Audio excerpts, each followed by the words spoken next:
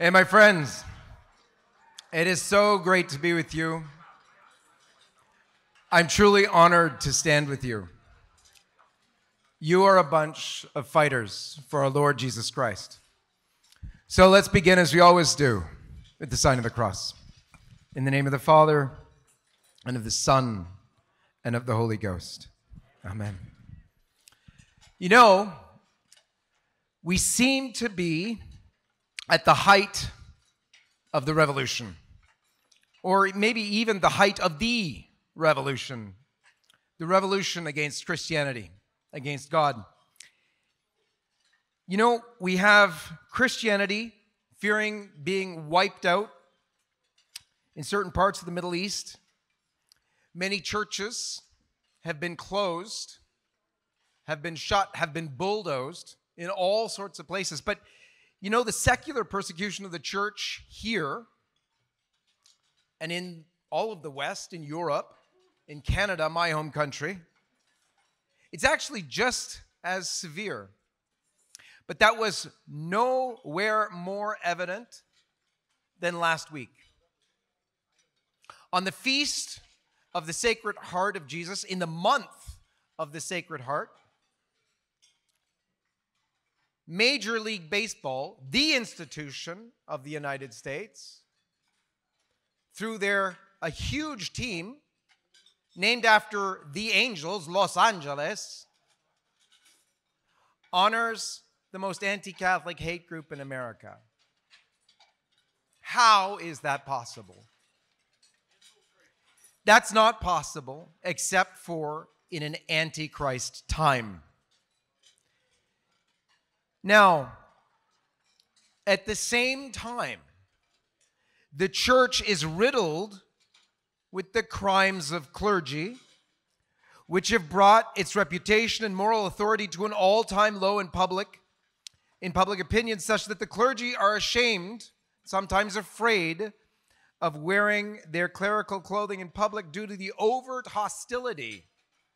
Priests walking through the airport are called pedophiles.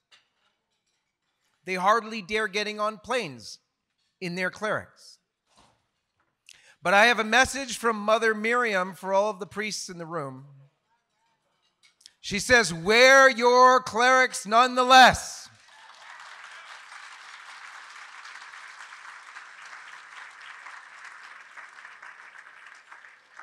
That was from today, a text.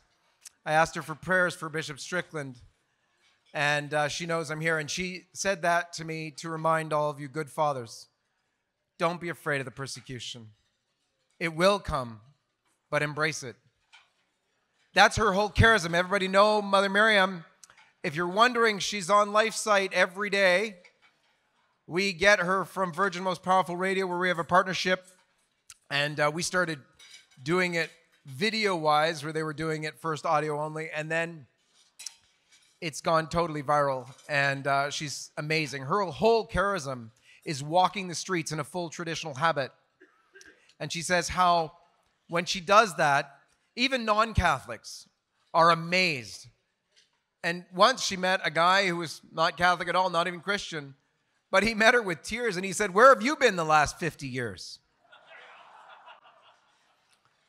Fathers, I can't tell you what it does for us laity to see you walking in your collars on the street.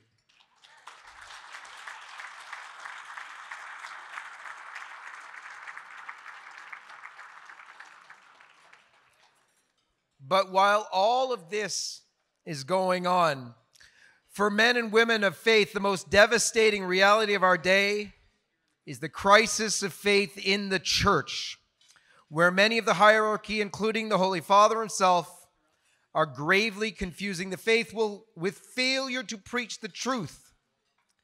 At times, in statements both official and unofficial, contradicting doctrine. I said both official and unofficial. And we'll get to that. Because a lot of people think all of the commentaries, all of the laundry list, which Father so generously gave us, um, is all made in off the cuff comments. But they're not. We've seen the crushing of Orthodox clergy and religious by their own superiors, the whole scale abandonment of the underground faithful to the wolves overtly seeking to destroy the faith, and the promotion of the very wolves in shepherd's clothing to the highest offices in the church, and the ruthless attack even on young Catholics clinging to tradition. They're all signposts of our current agony. Remember in the Holy Scriptures, uh, excuse me, in the Catechism of the Catholic Church, at number 675, thanks, Anthony, um, we are told that there will be a religious deception offering men apparent, an apparent solution to the problems at the price of apostasy from the faith. And that's what we're facing today. We're facing the time when the Catechism tells us that the mystical body of Christ will follow her head, our Lord Jesus Christ, to the cross. And that's what we're experiencing right now. And it's nowhere more powerful than in the heresy coming from the Vatican. You know, LifeSite News comes from the pro life movement. And all the pro life activists in the room, where's Janet?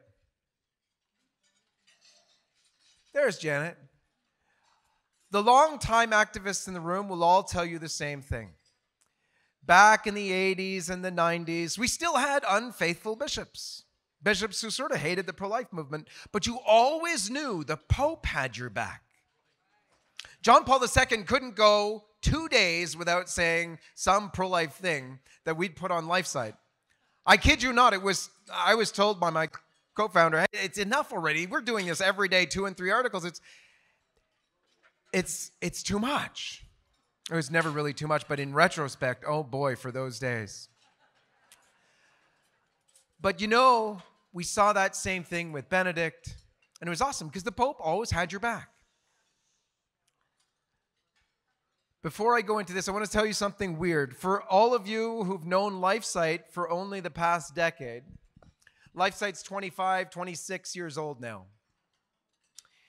And it was a very different relationship that we had with the church. Yes, with individual bishops, that was always the case. It was, you know, one of the things some of the bishops used to say, have you been life sighted yet? And it, it didn't matter if it was good news or bad news because it was always uncomfortable for them at the bishop's conference.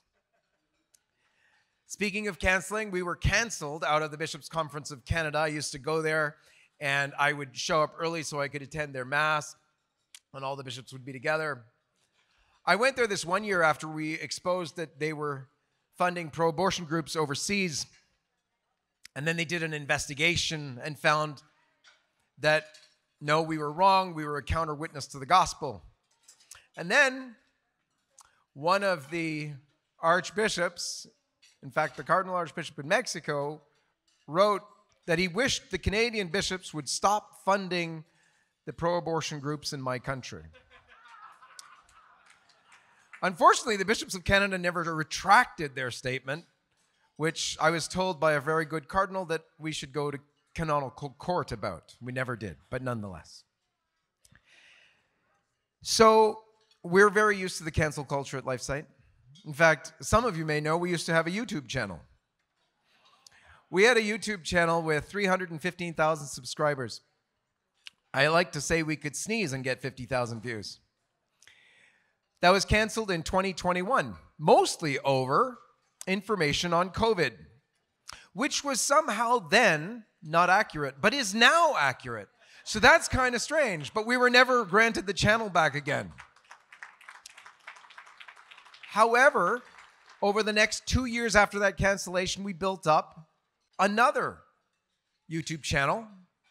This time we got almost exactly halfway 157,000 subscribers. And again, it was going really well. And we got canceled again. And this time we got canceled over hate. A hate policy. For what? What did we say that was so hateful? I did a movie review.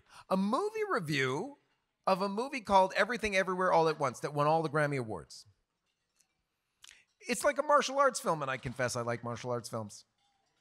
But when I saw it was a martial arts film, I was like, okay, great. And it was kind of a martial arts film, sort of, not really. And it was gross and it was horrible. But worse than all that, it was very anti Catholic.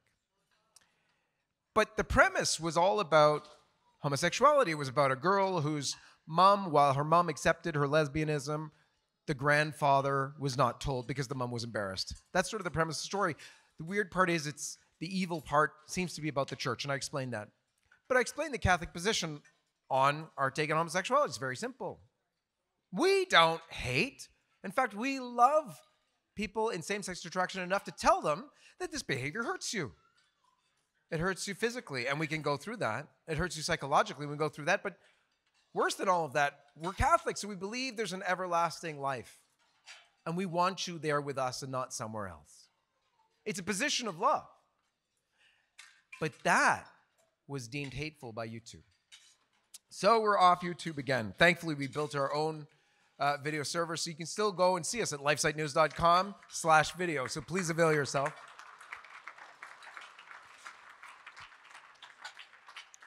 But thanks to Father, I don't have to go through everything on my list. But I'm going to tell you what I'm skipping. First of all, I'm skipping the Pachamama pagan liturgy in the Vatican, which Father went over so nicely. I'm skipping the Canadian reenactment of that, which most of you probably didn't see. But there was a shaman in Ottawa who did a pagan ceremony with the Pope and the cardinals, asked them all to close their eyes and put their hands on their chest while he blew a bone whistle and called on the four directions and talked about the Western grandmother, asking her to open the circle of spirits so they could join them there. But I'm skipping that. And I'm skipping the crackdown on the Latin Mass and the traditional orders. And I'm skipping the forced Vatican COVID shot, the forced church lockdowns, stopping the public celebration of the daily sacrifice of the Mass worldwide, not quite for 1,260 days. All of you should catch that reference. But only for nearly three months from March 2020 to the end of May. And the closure of Lourdes the healing place during a pandemic. That made lots of sense. But I'm skipping that. We're skipping the cancellations of Cardinals Burke, Cardinal Zen, Cardinal Sarah. Wait a minute, how do you do that with Cardinal Sarah? Cardinal Sarah is a very black cardinal. The black face of white supremacy. That's really good. Anthony's a good line guy. I'm just going to use his. Throw him in anytime, Anthony. But how do you cancel a cardinal from Africa? Is how? You're liberal. That's how. They will do anything. It doesn't even matter. So we're going to skip that. We're going to skip also over the China Underground Church sellout with the secret deal, which had papally approved, by the way, bishops in China who are communist agents. And get this, they have wives and children. But we're going to skip that. We're going to skip over the Pontifical Academy for Life, getting rid of their pro life membership requirement, and then bringing on pro aborts. We're going to skip that. We're going to skip the Pontifical Academy for Sciences, bringing in all the world's population controllers who were fought by the Vatican at the UN under JP2. The very father of population control, Paul Ehrlich, who wrote the book The Population Bomb, he was invited to the Vatican. We did a huge petition, 15,000 people asking the Pope not to do it. He did it anyway. We called up Paul Ehrlich because we're a news agency and asked him, So what do you think? He said, I really like the direction Pope Francis is taking the church. We're also going to skip the um, population control, excuse me, the Emma Bonino thing. Emma Bonino, Italy's foremost abortionist. She did like 10,000 abortions illegally in Italy, then fled the country, came back, became a politician in the Communist Party. She they passed abortion, same-sex marriage, and all sorts of anti-Catholic legislation. The Pope's like her best friend because he likes what she does with immigration. He said in the newspaper of the the daily newspaper, the most famous newspaper in Italy, said that she was one of Italy's forgotten greats. She's so popular, has met with the Pope so many times that she goes to speak in Catholic churches, but she's that same former abortionist, now promoting abortion person. In fact, when America overturned Roe v. Wade with the Dobbs decision, she was out front, public, condemning it. That's today, you're right. Today, one year ago. And she complained, but she speaks in Catholic churches. But we're going to skip that. we're going to skip the Zika virus thing where the Pope allowed for contraception. That sounds so weird. We all called the Vatican to ask, at the time, the head of the press, com- press uh, Vatican press was still Father Lombardi. And I kid you not, this was Father Lombardi's answer. The Holy Father meant to say that in grave circumstances, we can have access to condoms and the pill. How is that even possible? But we're going to skip that. We're going to skip his comments from July 16th, 2016, which were about cohabitation. He said, Cohabitation is real marriage and has the grace of real marriage. And my daughter called me from college to say, Dad, did the Pope just say cohabitation is real marriage and has the grace of real marriage? And you know, I've asked several cardinals who didn't want to talk to me about this stuff. I said, Was I supposed to lie to my daughter? But what we're going to touch on briefly, since we had to skip so many things, is just, is just the formal teachings, which are very confusing. So, how many of you were into apologetics?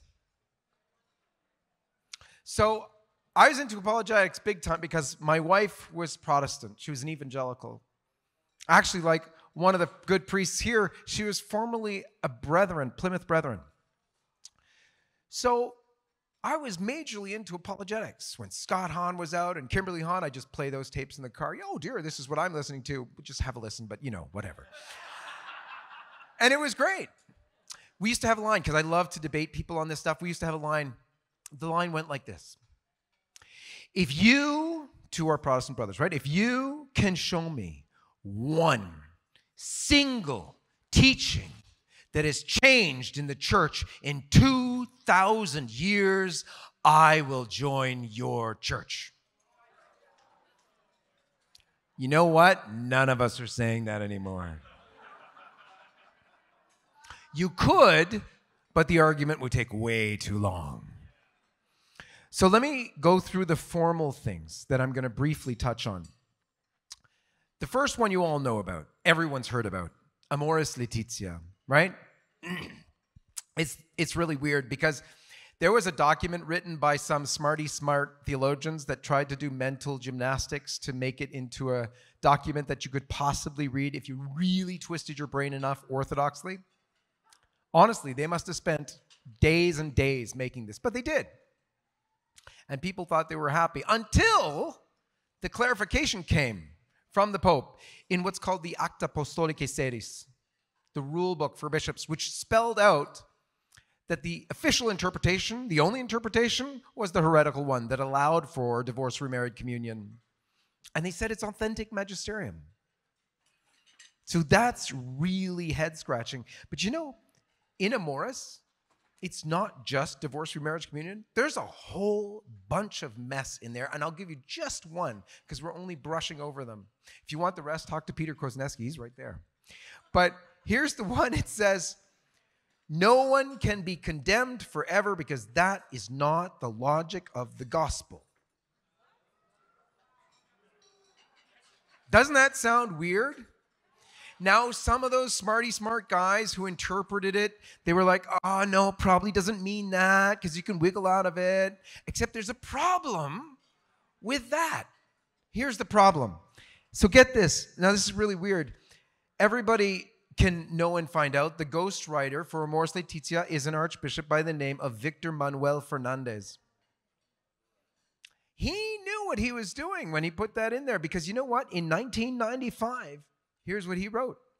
He said, I rely firmly upon the truth that all are saved.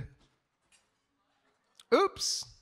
That's the ghostwriter for Morris. So if you want to know what it means when it says no one can be condemned forever because that's not the logic of the gospel, eh, it's a pretty good indication. So that's Amoris Laetitia, but that's the one sort of everybody knows about, right? The next one we probably know about is the change in the Catechism of the Catholic Church. Well, that's odd and weird. How does that happen? The Catechism was changed with regard to the death penalty, right? It doesn't make any sense to call the death penalty inadmissible ever. You call into question all the former popes and the whole teaching of the church on the question. It's hard, especially as pro lifers. That's not one where we like to go, but the church teaching is church teaching, so you do anyway.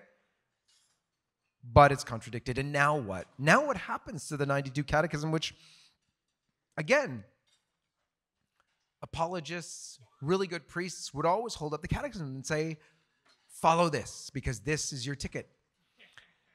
You still can, except the catechism's called Baltimore or Trent. So there's that. But I'm going to tell you one that you probably, the third one you probably know about too. It was actually because this one was the first one where a papal document called got called out for heresy publicly by none other than America's bishop, Bishop Strickland. Bishop Joseph Strickland joined the other major, major hero in the Catholic Church today, whose name is the same as the hero of the Catholic Church during the Arian heresy, Bishop Athanasius Schneider. And that is no coincidence, folks. God is truly giving us hints. That's not his name in life. He wasn't born with the name Athanasius, he was given it in religion. And so they called Pope Francis or the document out for heresy because the document is Desiderio Desideravi. And this is so weird to say. So let me take you through a little bit of history. History, I'm sure you all know, but I'll put it together for you, and it's weird when you get to the end. So, you all know Nancy Pelosi. You all know that Archbishop Cordileone, after a decade of discernment with her, trying to get to her, working overtime backwards and everything to do everything to convince her otherwise, said, That's enough. He was convinced in conscience he had to deny her Holy Communion. He had to go through with Canon 915 because she was an obstinate public sinner. And so he said publicly to his priests that she should be denied Holy Communion as is proper for the good of her soul. He is like the most loving guy. This is not an act of condemnation, it's an act hoping that she will turn back before she goes to hell because he cares about her soul. What does that say for the others who choose to give Holy Communion to people they know are in mortal sin when they know they are causing damnation to them because the scriptures say so. St. Paul in Corinthians, when we eat unworthily, we eat condemnation to ourselves. So, what are they doing? Where's the love in that? It's strange.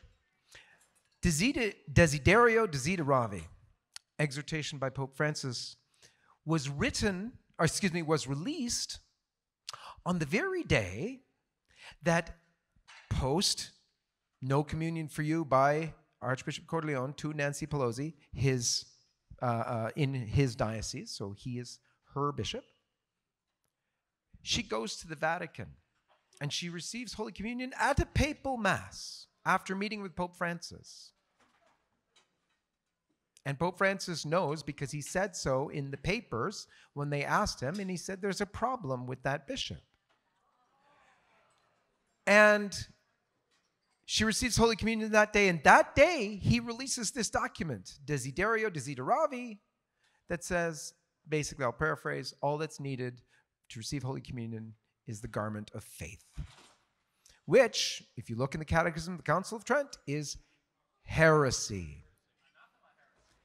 Exactly. Anathema heresy, which is fancy language that will use the term that Father used, but I won't use that one. So it's very, very serious stuff, but these are official documents. So what do you do? It's very, very strange. Well, you do what Bishop Schneider, Bishop Strickland, and there was two others actually, Bishop Gracida, also from the United States, from Texas, but he's 100 now. And um, uh, there was another archbishop, I think it was Mutzerz. They got together and did this very courageous thing. So that was document number three. But I want to tell you about one that's near and dear to my heart, and it's relatively unknown. Does anybody know the fourth official document? Anybody here know the fourth official document that has heresy in it that was released by Pope Francis? It was released in 2018. And it's one of the biggest attacks on the pro life movement in her history, and it comes straight from the Pope. It's called Gaudete et Exsultate. And it's talking about immigration versus abortion as matters of importance in politics. And it says if anyone would say this, this is, this is, he's talking about, um, he's talking about immigration, of secondary importance, he says such considerations are worthy of a politician but not a Christian. It is totally upside down and backwards. You know the document that was released by under Pope John Paul II by then Ratzinger, who became Benedict, in 2004. In 2004, while the American bishops were considering the question of communion for pro abortion politicians, remember what happened? McCarrick was the head of the commission. and the Vatican, under JP2, released a letter. It was called Worthiness to Receive Holy Communion. And it was a beautiful letter that, interestingly, went through what Benedict would later call the essentials. And he said basically, other issues like the death penalty, just war, are different than abortion and euthanasia. While you can disagree with the Pope on these other issues and still receive communion, still be Catholic, not so with abortion and euthanasia. So he gave us very clear delineation. Things like immigration and how you want to handle helping the poor are for your own discernment, within reason, of course, but still not the same as abortion and euthanasia, for which there's no lines to delineate on. No. But yet, we're told in Gaudete et Exsultate that immigration is an equal value. That's why when you hear Cardinal McElroy saying they're heretical because they don't regard abor- uh, uh, immigration on an equal level, he's got some documentation on his side. I hate telling you this because this is unreal. And I'm a simple Catholic dad. I'm not a theologian. But you can't even ask me, what does this mean? Because I have no clue. But I do know I've got eight children. My eldest is 26, my youngest is 11. And I know it's my responsibility to fight for the faith of my kids.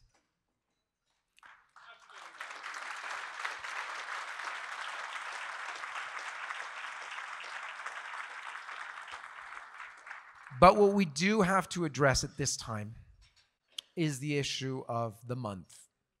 The month of the Sacred Heart of Jesus, taken over, as was the rainbow symbol, by this movement, the alphabet movement, which has seemed to capture the imagination and hearts of so many people somehow, but also Pope Francis. And it's sort of unreal, but let me give you, to start with, a quote from another great leader in the church. His name is, in fact, he was your own nuncio. His name is Archbishop Carlo Maria Vigano.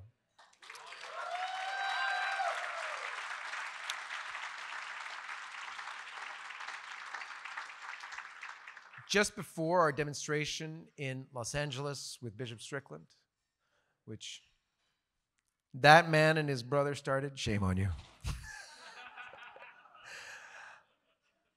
I love that guy.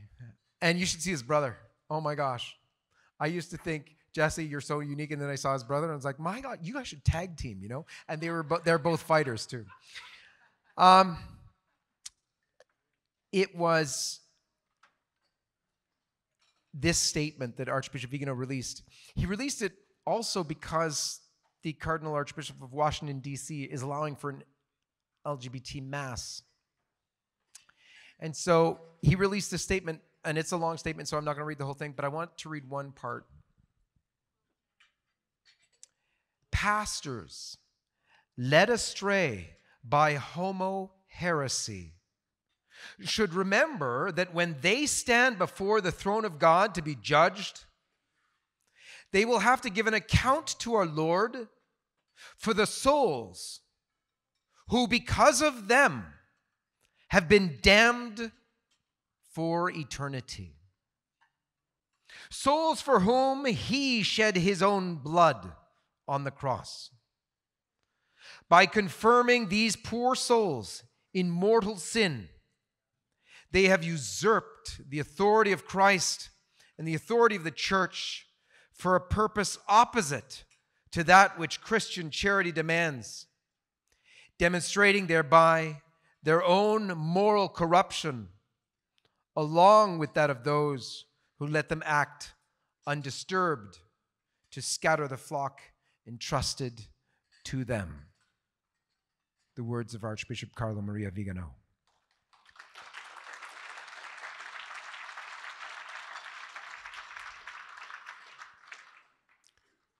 in the charge that he makes uses strong language, as does our beloved Father Altman. But it's not unwarranted. So, everybody knows about the dubia Cardinal Burke, Cardinal Caffarra, Cardinal Meisner, and uh, the other, wait a minute, the fourth, Burke. Mueller. No, no, not Mueller. Meisner, Burke, Caffarra, and Brandtner, thank you. And so, and there's only two left alive right now, almost one because Burke almost didn't make it. But anyway, their dubia has gone unanswered now for years and years and years. But you know, there was another dubia answered really, really quickly. It was dubia uh, sent from an LGBT group questions from an LGBT group headed up by a Catholic priest. His name is Father James Martin. He submitted questions to Francis from his new group Outreach, and they were answered almost immediately. In fact, it gets so bad, it's surreal. James Martin had a conference, an LGBTQ plus plus whatever whatever conference on the feast day of the Sacred Heart, starting on June 16th, and it went for two days. And you know what's really weird? For that conference, he got a letter, handwritten letter from Pope Francis, thanking him profusely for his work. These are weird things to say, but this is what we're living through. Do you remember right out of the gate, week one? Who am I to judge? Do you remember that? If you go to LifeSite, we like being on top of the news. You will not see that on LifeSite week one. Because if you remember, that happened in a conference that was not really authentic. It was sort of off the books. It wasn't reported officially. It was kind of like rumored. And it was spicy too because it talked about a gay lobby in the Vatican. So it was interesting news, along with Who Am I to Judge and a bunch of other things. But part of the other things was a comment about rosaries. The Pope was saying he's quite perturbed about someone counting their rosaries. You know, in the church, we have a tradition of giving a spiritual bouquet. When you give a bouquet, you give a number of roses to your loved one three or six or a dozen or two dozen, depending on how much you're trying to impress or how bad you were. but spiritual bouquets are there. And this fellow had gone to the Holy Father. Holy Father, we have a spiritual bouquet for you. We have like 3,000, whatever he said, rosaries. But in the interview, Pope Francis was said to have been mad. What's with the counting? Can't they just pray? So I said, no, that can't be the Holy Father. There's never going to be a Holy Father who's going to dislike the rosary. So, no, we're not going with that because it's fake news. a week later, I was in the Vatican, and we had a lot of contacts in the Vatican at that time. And I asked a source in the Vatican inside, and he was Latin American, so I thought, oh, I've got the inside skinny here. And he said, Of course it was a real interview. But I said it wasn't released officially. Oh, no. The Holy Father will have a new means of communications. He has much more ways of communicating than you'll have seen previously. That, of course, is absolutely true. But it verified something absolutely horrific at the same time. Who am I to judge, though, did get the Holy Father on the cover of Advocate magazine, one of the big gay magazines, with who am I to judge on his cheek? In a, you know, they made it up. It got him cover of many magazines and newspapers because it was a new openness.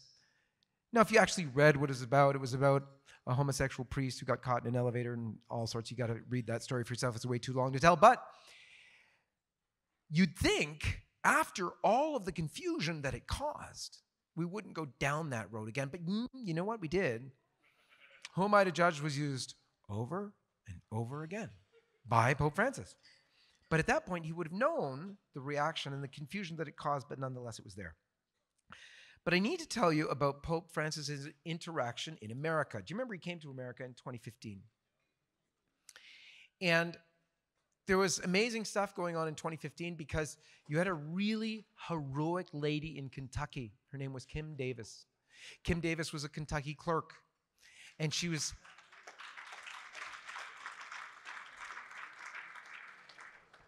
She was a good evangelical woman, I think three or maybe four kids. She went to jail because she refused to put her signature on homosexual marriage licenses.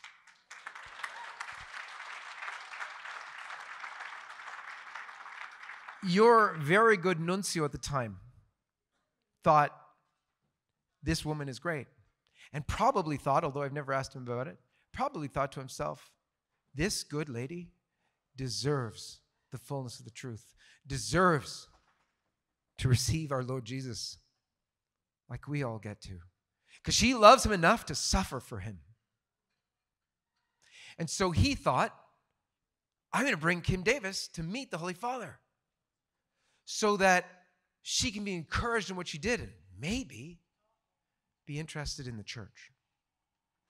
So, indeed, Archbishop Vigano brought Kim Davis to the nunciature to meet the Holy Father. And he did meet her. Something odd though, he was she was told they couldn't take any pictures. That's kind of unusual, but it is true there's a Vatican photographer there who takes pictures all the time and you can get them from them. So maybe they were trying to make the extra 25 bucks, I don't know.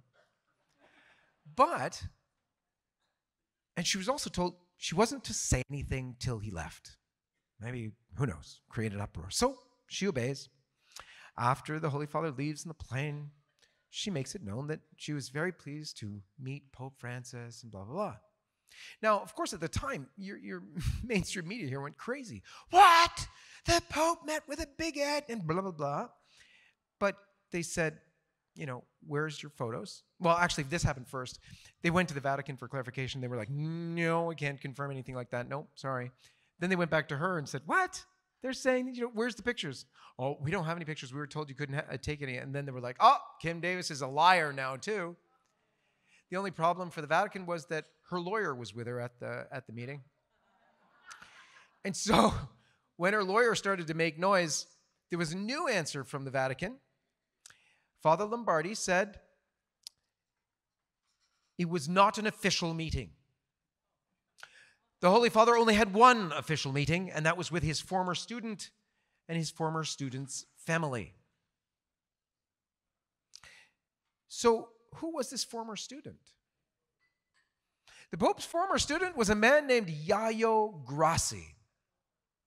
And Yayo Grassi did bring his mother and his sister. He also brought his homosexual partner. And you know what? There's photos, and actually, there's video. There's video of this, and you can see Pope Francis embracing Yayo Grassi and his homosexual lover. So, the story, unfortunately, doesn't even end there. There is a, homosexual, uh, there's an abuse victim, a clergy abuse victim, by the name of Juan Carlos Cruz. And Juan Carlos Cruz is a homosexual man. And Juan Carlos Cruz met the Holy Father and he told the newspapers that the Pope told him that, because he talked to him about this Kim Davis thing, he was really upset. How could you meet with a bigot? And he explained to the New York Times or Washington Post, I can't remember which one, I'm sorry. Um, he explained that the Pope told him, Yeah, I didn't, I didn't know about the interview, the nuncio did it, and I got rid of that nuncio.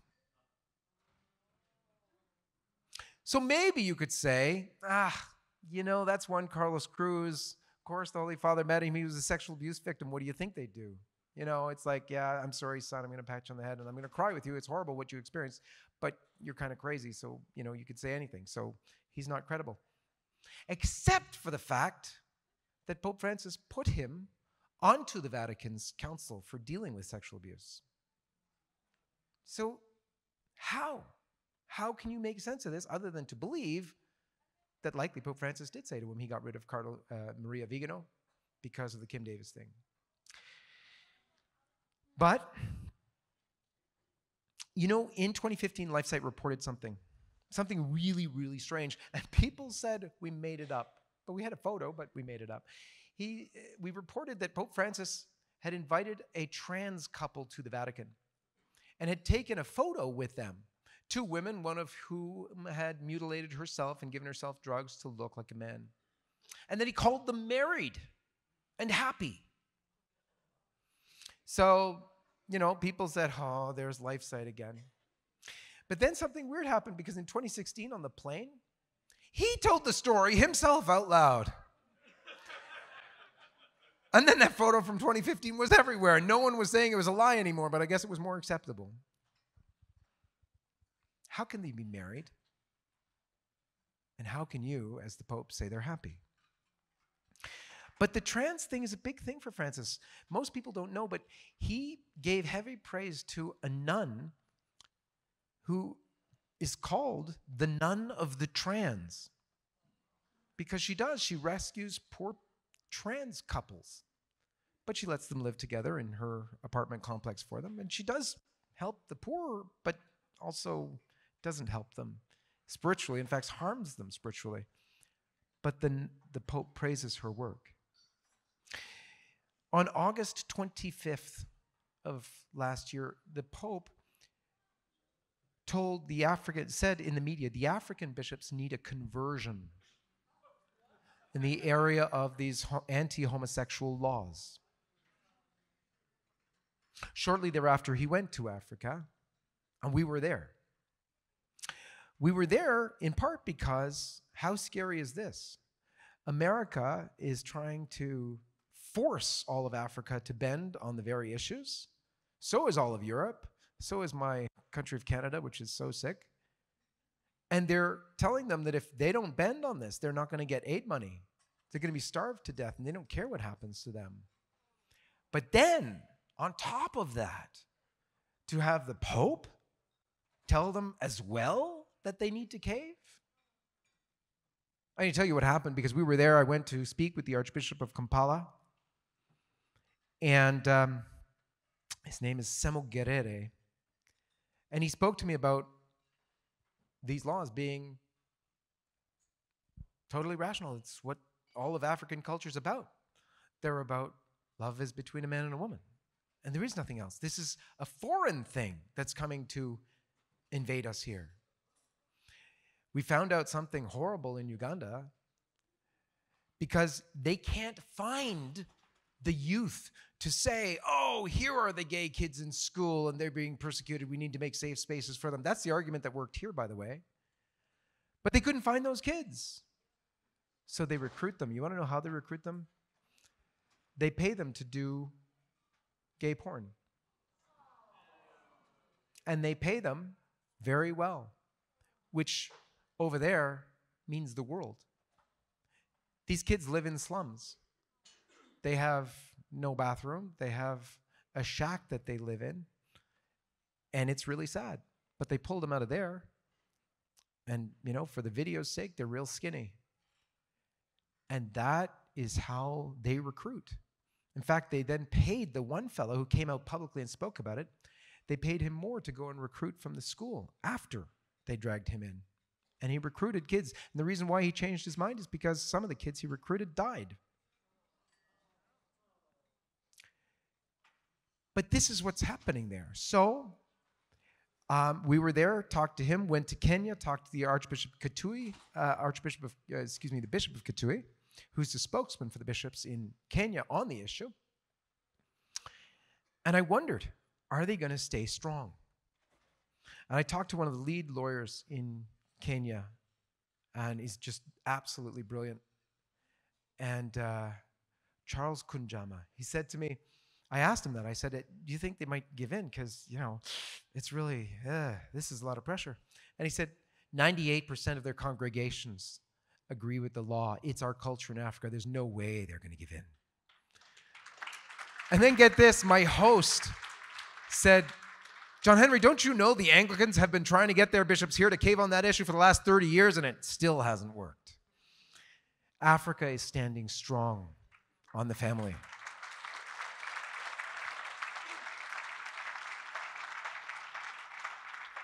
right after the Pope left, Jill Biden came to warn them. Right after Jill Biden left, they approved the law banning homosexuality. And then the US cut off aid to Uganda.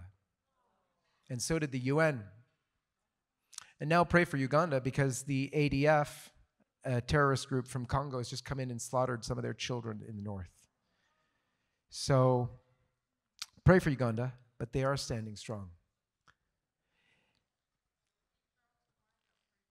St. Charles Lwanga and companions, who really their blood. If anybody doesn't know the story of Charles Lwanga and companions who suffered because of homosexuality, should look it up. And that's probably why Africa is standing strong on that issue. They could use help from us on liturgy, by the way, but that's a different story. Um, and then there was, of course, Pope Francis' civil union comments, which first people didn't believe that he did that when he was back in Argentina, but he repeated as Pope. So it certainly does seem that we are in a situation that is extremely, extremely grave. Um,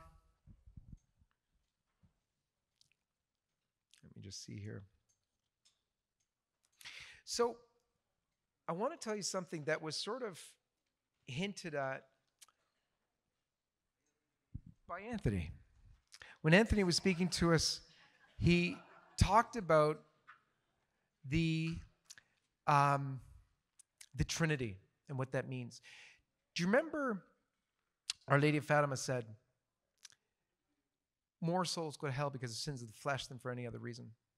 Peter Kreeft once said, do you ever notice that the whole culture war is about one issue? Abortion, homosexuality, embryonic stem cell research, pornography, divorce, adultery. The list goes on and on and on. It's all about sex. It's all about the family. It's all about marriage. Why? And as Anthony was saying, the fathers of the church, described in John Paul in um, his works, makes even more plain that the fathers talked about the Holy Trinity, the relationship to which we're all called in eternity as a family. The Father loves the Son, the Son, the Father, and their mutual love is the person of the Holy Spirit, which is reflected in our father, mother, children. If you were Satan and you want your primary goal is to keep people away from heaven, which is that Trinitarian relationship, wouldn't it be your first goal to distort that very relationship? Absolutely. And that's the game plan. And that's why it has to be the place we have to concentrate our efforts in fighting the devil because it's where he's most successful. And Our Lady told us that. More souls go to hell because of that sin than for any other. I'm going to do a slight aside here. Do you know a lot of people say that, oh, this isn't the worst time? Come on. We had the Borgia popes, we had Arian. It was much worse in the olden days. I've got a line for you to respond to that. Our Lady of Fatima said, More souls go to hell because of sins of the flesh, of impurity, than for any other reason, right? So that's the number one tool of Satan. Something's weird with that. That was 1917 when she said it. Do you know that today there are more people on the planet who watch porn regularly than there were people alive in 1917? There's much more sin right now. And you can talk to some church historians, it's unreal what they'll tell you. Oh, that Pope Francis were to have maybe one or two women and some children. Because compared to this, that would be nothing. Oh, that we were to have just one heresy, but we have all of them in modernism. So we're dealing with some very, very serious times, but I'm not going to leave you with that because I want to leave you with what truly is our hope. So, but let me say this first. Where have we lost? Where is the church lost in its battle on communications? It's actually in the hard cases where it was believed prudent or convenient, caring or pastoral to be silent and appease the culture. And our good priests here weren't silent. But you know, that's how we lost. Because in the vast majority, bishops and priests in the West failed to make the argument against contraception for openness to life, failed to make the argument against in vitro fertilization, support for respect for God's ordained method of procreation, failed to make the argument against homosexual acts, and thus chastity in the midst of hard temptations, failed to make the argument against immodesty for the practice of custody of eyes. And so, what became of these lapses in teaching? Has the silence of the church led to cultural peace? No, no. The rampant practice of contraception has inevitably led to the abortion holocaust. The unchecked immodesty and total lack of custody of the eyes has brought us to the near universal addiction to pornography. In vitro fertilization gave us embryonic stem cell research. Homosexual acts, by their acceptance, have led to homosexual marriage and even restrictions on freedom of religious practice in various nations. So, how do we deal with this? We've already gone through how to deal with this. It's very easy. It's caritas in veritate, the truth and love. It's the answer of Christ, of his mother, and of the church. It's not love to allow your children to rampantly misbehave without correcting them. It might be easier sometimes, but it's not love. I can tell you, as a father of eight children, it's often easier to turn the other way. But, you know, when you purposely fail to notice grave misbehavior, out of love, parents must correct and discipline their children, and so too the church, especially your shepherds, the father of souls. They must feed the flock. They must teach the truth, however difficult and politically incorrect, because that's love. We already heard today once, but it bears repeating. It's so obvious we're living in the time St. Paul warned about in 2 Timothy 4 when he said, They will not endure sound doctrine, but according to their own desires, they will heap to themselves teachers having itching ears. But the apostle the Gentiles, St. Paul, he tells Timothy, anyway, Timothy, the young bishop, to fulfill his ministry. He says, I charge thee before God and Jesus Christ, who shall judge the living and the dead by his coming and his kingdom. Preach the word, be insistent, in season and out of season, reprove, entreat, rebuke in all patience and doctrine.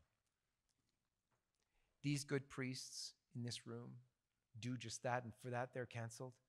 And I am so proud to stand here with you guys because you are doing what so many of your brothers won't do.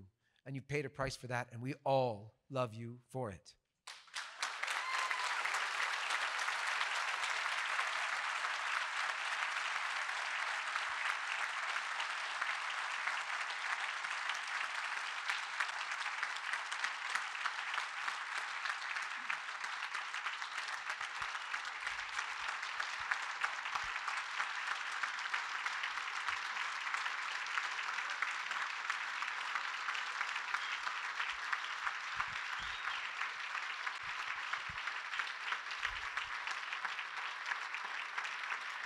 This is for you, fathers.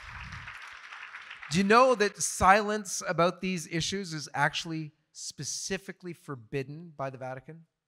Silence, not to go against them, which everybody seems to do nowadays, but silence is forbidden. The instruction is by Benedict XVI, um, and it was when he headed up the Congregation for Doctrine of Faith. So it was under JP2. And it says this the CDF document from 86 entitled Letter to the Bishops of the Catholic Church on the Pastoral Care of Homosexual Persons. So it's a letter to bishops. And it says, clearly stating that homosexuality is immoral is necessary. It It's the instruction says, we wish to make it clear that departure from the church's teaching or silence about it in an effort to provide pastoral care is neither caring nor pastoral. Only what is true can ultimately be pastoral. The neglect of the church's position prevents homosexual men and women from receiving the care they need and deserve. And so, the example of the Vatican and Pope Benedict at the time was amazing. In 2005, a few weeks before the election of Benedict, get this, the late Cardinal Alfonso Lopez Trujillo, who retained his position as president of the Pontifical Council for the Family after Pope Benedict got elected. He gave one of the strongest statements defending the traditional family ever voiced in the church. He said, Parliaments which open the way for same sex marriage destroy piece by piece the institution of the family, the most vulnerable heritage of peoples and humanity. He called homosexual marriage a crime which represents the destruction of the world. And speaking of adoption of children by homosexual couples, he said, This would destroy, this is a direct quote, by the way, this would destroy the child's future. It would be an act of moral violence against the child. With those strong words, he awoke so many people to the dangers the worldwide assault on the family. And the cardinal explained, though, now get this, this is the same cardinal. He explained that it was not, it was actually out of love that the church was pointing out these dangers love not only for society, but also love for persons with homosexual attraction themselves. As I said many times, he said, homosexual peoples must be respected, loved, and assisted. We must help them overcome this situation if they seriously want to, and help them realize that there is not only life on earth, there is another life. It is false to say that the church does not love these people. She loves them and wants to lead them to eternal salvation. Pope Benedict did the same. He talked about this in December 22nd, 2008. Pope Benedict, he used like human ecology, the term human ecology, but he talked about respecting the Creator's natural order of relationships between man and woman. And in language very similar to that of Cardinal Trujillo, the Holy Father said the church must protect man from self destruction and this is a quote again if the church speaks of the nature of the human being as man and woman and demands that this order of creation be respected, this is not some antiquated metaphysics. What is involved here is faith in the Creator and a readiness to listen to the language of creation. To disregard this would be the self destruction of man himself, and hence the destruction of God's own work. You know, obviously, Benedict did not say this to be popular. In fact, he was so heavily condemned for this. There was actually thousands of news articles around the world, from Bulgaria to India, from the New York Times. I mean, it was everywhere. They said, Pink News headline was this it read, Pope Benedict learned nothing from his time in the Hitler Youth. There was another headline Pope Benedict's latest outburst justifies homophobic bullying and attacks. Those were the homosexual press, but the mainstream press was no less bad. San Francisco Chronicle. Pope Benedict at Christmas, preaching bigotry disguised as compassion. The Times of London. Christmas was never meant to be about this. So, you, my dear canceled priests, are so maligned in the mainstream media, you're actually in very good company. With that,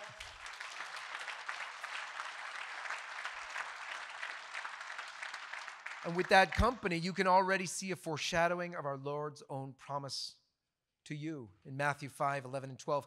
Blessed are you when they shall revile you and persecute you and speak all that is evil against you untruly for my sake, be glad and rejoice, for your reward is great in heaven.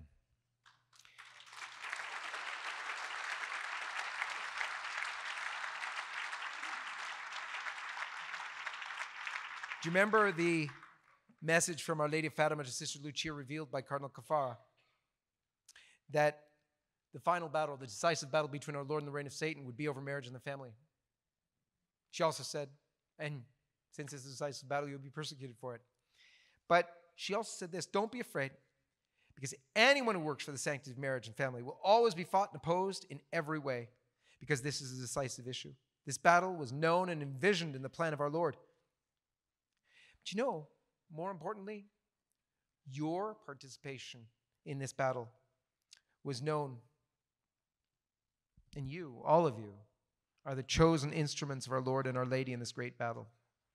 Remember what Sister Lucia said, Our Lady concluded. Our Lady has already crushed his head.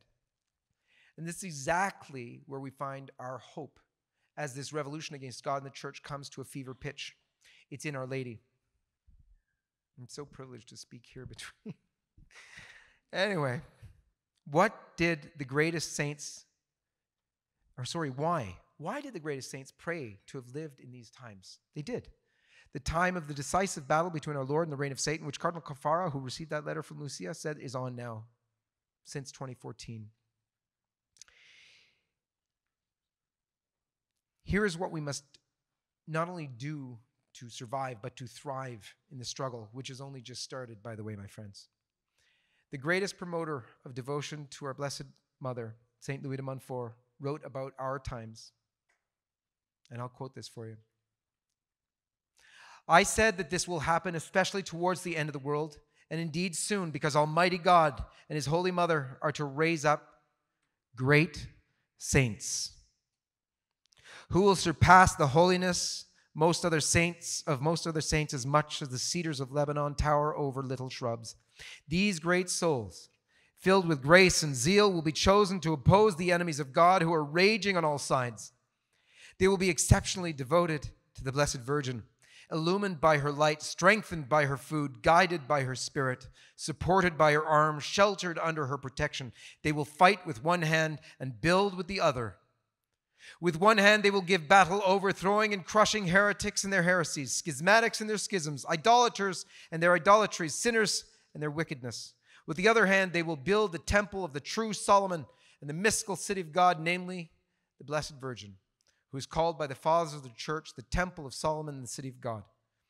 By word and example, they will draw all men to a true devotion to her, and through this will make many enemies.